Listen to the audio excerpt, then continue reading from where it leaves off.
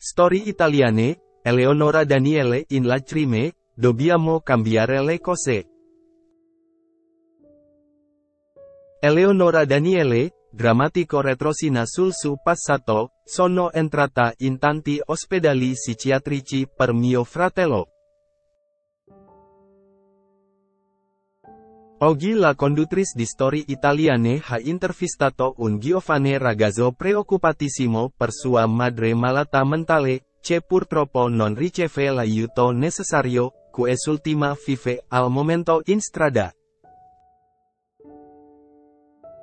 A quel punto la conduttrice delle Amiraglia Rai ha colto location per svelare un episodio del passato assai doloroso legato a suo fratello venuto a mancare anni fa.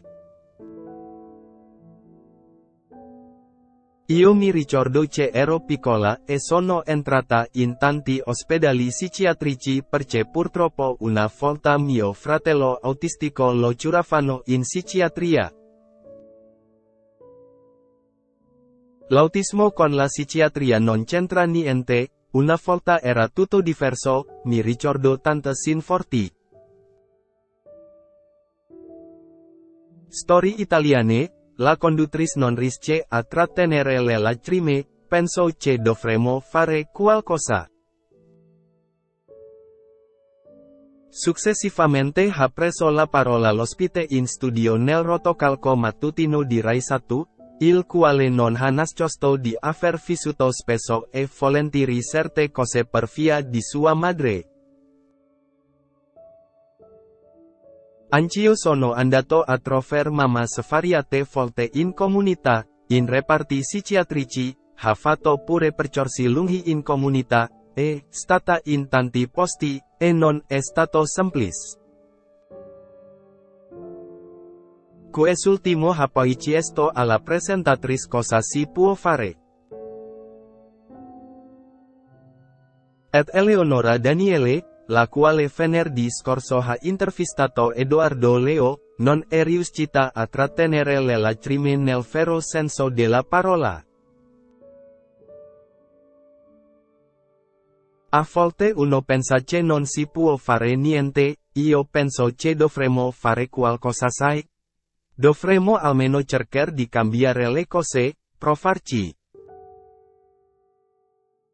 L'ospite ha quindi subito tenuto a chiararci nel suo piccolo e che lo che sta cercando di fare. La conduttrice lancia una proposta al suo ospite, ti fa di lotter insieme. Eleonora Daniele ha quindi chiesto al suo ospite in diretta su Rai 1 Seglifa di affrontare questa question insieme, nella speranza che possano davvero aiutare questa donna in estrema difficoltà. Io faccio tante battaglie sai? Proprio su questi temi, stasera tra l'alto fado in onda con un programma serale e trattiamo questo tema. La conduttrice di storie italiane ha quindi invitato il ragazzo a partecipare al programma stasera.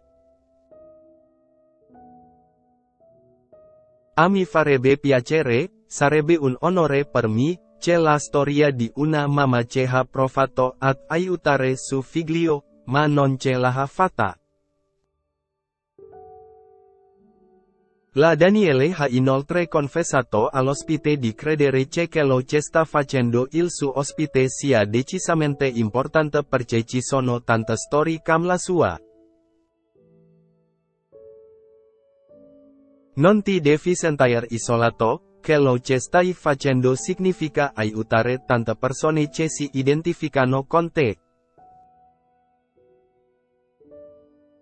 Quest'ultima non ha poi nascosto di prover una grande ammirazione nei suoi confronti, speriamo di fare qualcosa per tua mamma.